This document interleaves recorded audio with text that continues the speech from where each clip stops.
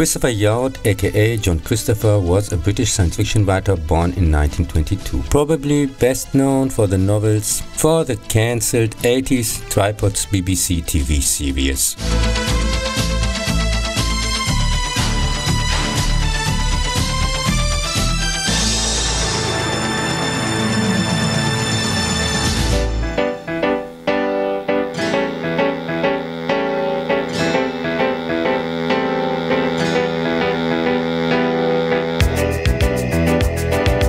In 1970, Cornel Wilde's UK-US science fiction drama No Blades of Grass came out, based on John Christopher's excellent The Death of Grass from 1956. In the novel, a new virus strain from China infects the rice crop and causes massive famine worldwide. After the introduction of a new pesticide, the virus mutates and now infects the staple crops of Europe, while Australia and America seal themselves off. The end-time scenario classic is set in London and follows the struggles and escape of an engineer who tries to reach his brother's safe potato farm with his family and friends, while anarchy reigns in the streets and the government reduces the population with curfews, martial law and hydrogen bombs in major cities. So quite similar in human measures for their own power preservation as with our governments, which in the book are held responsible for their actions and get punished. Obviously the science fiction fantasy element here. The story from the 50s has many parallels to current events in 2020.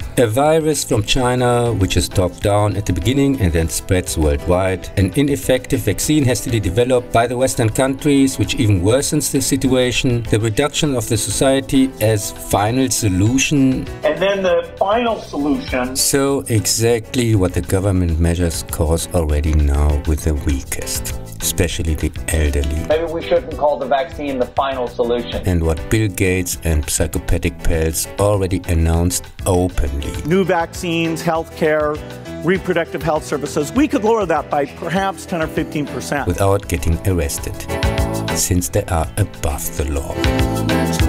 Food rationing, travel bans, curfews, censorship and restriction of freedom of speech, in this case claiming there is a virus, is considered fake news since the danger in the story is real and the government of course wants to hide it at all costs to maintain law and order, which makes sense. And not as with our freely invented pandemic with no real virus, therefore hardly sick or dead people, except those on television and the media with fake numbers, and fascist censorship discrediting critics, putting people in the psychiatry for no reason like in the Third Reich, and in some countries even deportation of the people who dare to address this. We already have built here again camps aka vaccine centers, which would be unnecessary if there was really a deadly danger. Many hospitals and doctors' offices would not have to close for lack of customers and people would go voluntarily to the doctor and not as now for fear of harassment and reprisals hide at home and suffer or even die over real diseases. The embarrassingly gimmicky, in front of and behind the camera, completely miscast, horrible scored junk alters without reason the original story and leaves out important characters. Drops any character development and pretty much all interesting aspects of the novel, like the highly intelligent dialogues of the two main characters, but includes a lot of archive material Ed Wood style, looks and sounds partially like a Monty Python sketch in serious, performed by retards without punchline, can't convey the global scale of the events at any second, has an unnecessarily explicit rape scene, annoying birth scenes, and so on.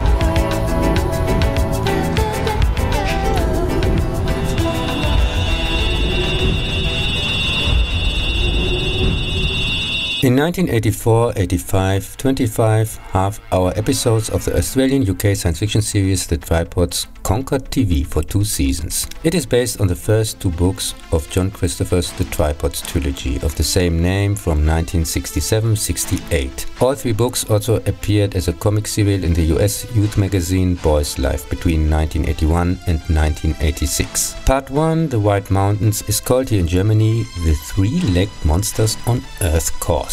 Uh. First off, nobody comes flying to Earth, they are already here. The title fits rather to the prequel fourth book from 1988. Second, that there are aliens at all is a reveal in the second book. so as usual completely unnecessary spoiler. In the story, life is largely like in pre-industrial times. It also reminds a bit of the Middle Ages, but small artifacts from the modern age are still used, such as watches. And all adults, by using implants called caps, which suppress curiosity and creativity, are under control of the tripods, gigantic three-legged walking machines. Their pilots are later identified as alien beings, the Masters. The protagonist, Will Parker, a 13-year-old village boy in England, harbors subconscious doubts about his impending cap day next year, which are reinforced by an encounter with a mysterious man with a fake cap. He encourages him to escape across the channel through France to the White Mountains, aka the Alps, to join the resistance. Will is accompanied by his cousin Henry and later by a French teenager named Jean Paul, nicknamed Beanpole. In the story, the friends split up shortly before the end because Will is considering staying thanks to a girl at a castle. She later willingly joins the tripods since she has a cape. Will, while trying to catch up with his friends after being captured and letting go for no reason, unwittingly gets a tracking device implanted. Henry and Beanpole remove the device, are attacked by a nearby tripod, which they are able to destroy with hand grenades kept from the destroyed Paris, and the three join the resistance. The TV series has some, at the time even for the novelist, incomprehensible additions, but the cast is mostly passable, the Beanpole actor delivers by far the best performance. The character of Will, on the other hand, is completely miscast, and the stretched script combined with a sleeper performance makes him seem like a selfish, complaining, constantly sick, whiny baby who is only there to stop the others and bring the plot to a halt. The story from the book goes on for just three or four episodes. The rest is completely made up, which is devastating for the pacing. A reason why many critics complain the story is slow and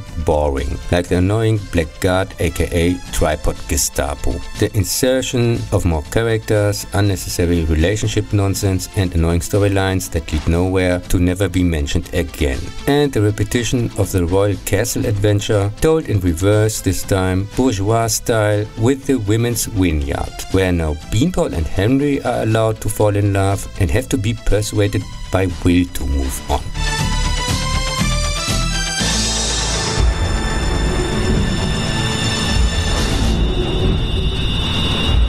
In 1985, the BBC initiated the youth magazine Beep with further adventures of Will and friends, starting during the fourth episode in the destroyed Paris. The story was never completed, however, as Beep was destroyed itself. Uh, I mean, cancelled after 20 issues. Part 2, The City of Gold and Lead, an allusion to the golden color of the master cities and the leaden weight of the increased gravity, is called here in Germany The Secret of the Three-Legged Monsters, clearly from someone with a working cape on his empty Will wins as a boxer together with a German boy, Fritz, as a runner, the competitions and they infiltrate a tripod city on behalf of the resistance, where they collect informations pretending to be slaves. Inside the city, the boys discover the operators of the tripods, whom they refer to as masters. Male humans are enslaved in the cities, while beautiful women, as well as plants and living creatures, are killed and kept for the masters to admire or to use as toys. The slaves have to use breathing masks to survive in the alien atmosphere, but are quickly exhausted by the higher artificial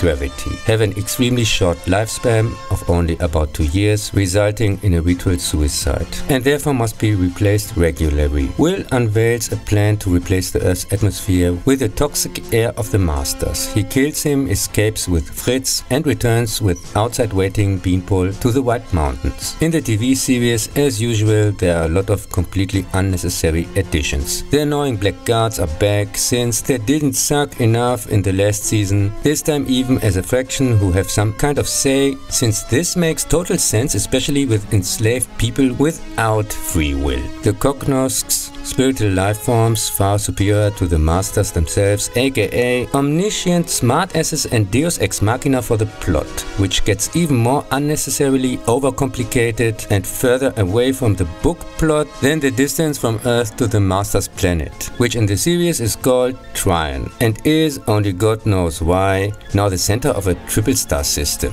In the book, sunlight is harmful for the Masters. Also, they don't look like their stupid vehicles in the original. And why should they? People don't look like cars either. They are also, for whatever reason, female servants. The Masters in the TV series also don't need to eat, sleep, or drink, don't breathe green air, or prefer the high gravity and temperature of those in the book. And strangely enough, don't have names anymore, but are called like the address of their quarters? One of the few areas where they can move at all, while most of the dome is populated by humans. Although here again two thirds of the episodes are padding pulled out of the head, the audience was made to believe there was no money for season 3. And obviously no time to give the interesting and important information how the hell the masters were able to conquer the earth in the first place. Will is told this in the book by his master quite casually. The invaders used the already existing TV signals to hypnotize their victims, just like in They Live, coming soon also on your screen. Described in detail in the prequel When the Tripods Came from 1988. Humanity's technological potential, the Masters, unable to defeat them in a conventional war, hypnotize people through a series called The Trippy Show, and later use the caps to control them permanently. As in the original trilogy, the narrator is again an English teenager. After they lost the last battle against the tripods, he flees with his family to Switzerland, which has resisted longest. When the Swiss are finally enslaved as well, his family forms the White Mountains Resistance Movement. The book is very good as its predecessors extremely critical of the media and has very obvious allusions to the by order intentionally sabotaged TV adaptation. In the final episode of season 2, Will and his friends find the resistance headquarters destroyed and the tripods aka the assholes from the BBC executive level have won. We have very similar unqualified overpaid from compulsory fees financed stupid fucks at our propaganda state broadcast here in Germany. And like in England, people get sick of these government funded criminals and, like me, stop paying the TV license fee. The DVD box set includes the soundtrack of the third season and a booklet with an interesting summary of the planned but never realized episodes, which is sweet, but I really don't care. They had their chance and wasted at least half of the series with padding nobody asked for. In what I consider the only real sequel, Part 3 The Pool of Fire, here in Germany the downfall of the three-legged monsters, uh, whatever. Will and Fritz travel around the world to organize the resistance against the tripods. Through a captured master, they discover that alcohol, precisely German schnapps, has a strong soporific effect on them and use this knowledge introducing alcohol into their water systems. However, the attack on the last city in Central America fails, but they can succeed by using hot air balloons and newly developed bombs. A few years later, the atmospheric spaceship destroys the remains of their cities, disappears and is never seen again. The saga ends with the aliens falling apart, nationalistic hostilities and each country goes its own way. When I watched the cancelled TV series back then as a kid,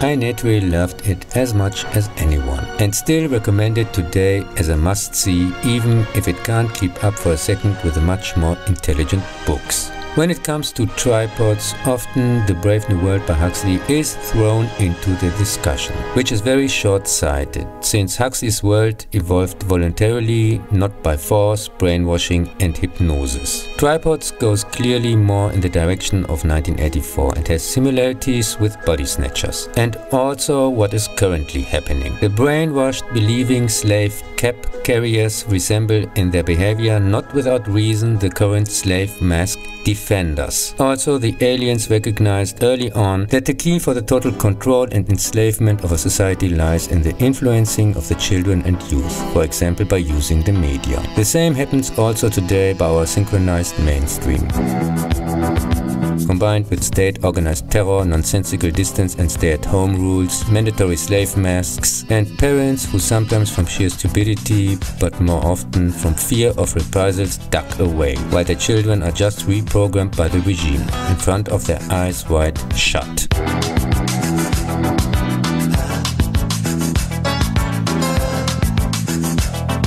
In 1986, the six-part dystopian German TV series, each 55 minutes, The Guardians, based on John Christopher's same-named novel from 1970. Set in the year 2052,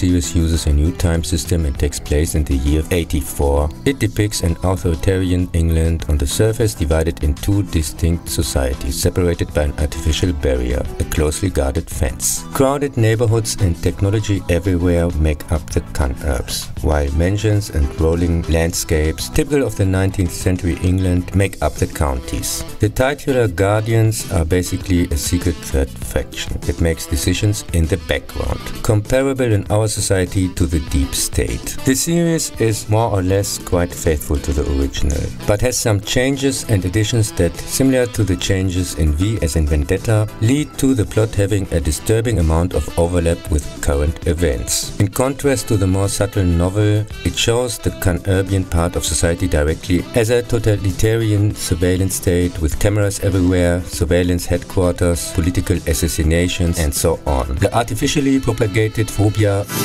the way you waste my juice, there's no excuse and no amuse. Too much. Too much of alleged germs and bacteria leads to the fact that the food comes only from the microwave, things are disposed and not reused, lessons only take place with video, books are seen as bacteria spreaders, but critical books are on the index anyway and the last libraries are about to close. Questioning things, curiosity are generally not wanted and so on. Some totally brainwashed idiots even walk around with masks on all the time. But even in this dystopia they know masks are useless and therefore not mandatory. People generally distrust each other and for the most part ensure through fear and conformist order following that nothing changes. The story follows a young Conurban orphan named Rob who flees to the county after his father's death. Is hidden there by a noble family and taken in with a false legend. Experiencing life in both worlds, uncovering unpleasant truths and choosing sides in the end. Novel and series are more important and topical than ever. From my point of view, absolute insider tips for different reasons and even slightly different plot.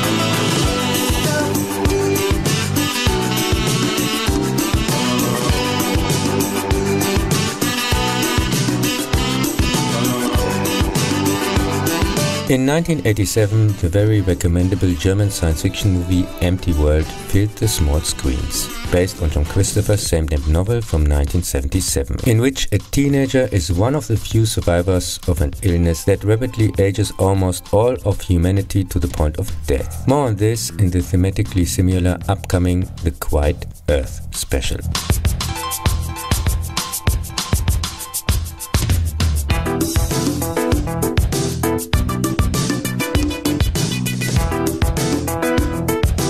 In 2012, the US science fiction schlock High Moon, supposedly based on John Christopher's The Lotus Caves from 1969, came and went as a pilot for a TV series that was thankfully never made. In the usual excellent young adult book, two teenagers in a lunar colony of 2068 on an unauthorized excursion discover a missing early lunar settler who has been rescued by an intelligent alien life form that looks like a plant. They manage to flee from its guiding care. The boys decide to protect the being by concealing its existence. The novel is about free will, independence, and the conflict between benevolent authority and individual conscience. In the Sci-Fi Channel crap, which has the balls to call itself an adaptation, the moon is divided into five zones, obviously referring to the nuclear powers, at least the official ones you can look up in the newspaper, which are after some MacGuffins whatsoever. The moonflower also appears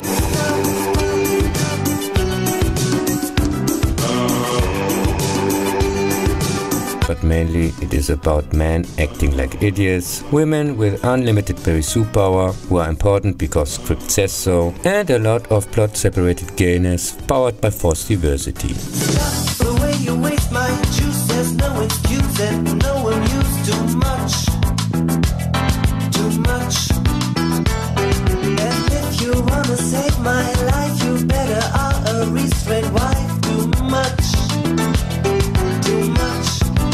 It seems as if they got a Rembrandt picture as a present and smeared all over it. If people now inevitably think of fake Drek Discovery, see also the same name Grant, uh, I mean fair and objective review, they are much smarter than those retards here. Since wannabe director Adam Kane and hack screenwriter Bryan Fuller showed also in STD their lack of talent and knee-deep bowing to the now standard SJW woke culture fascists who rule Hollywood you.